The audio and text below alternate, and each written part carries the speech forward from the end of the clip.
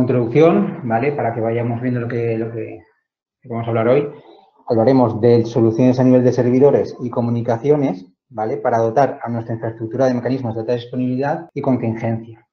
Primero comenzaremos con soluciones únicamente con infraestructura de data centers locales, ¿vale? O, remotos, pero siempre de en las instalaciones de la empresa.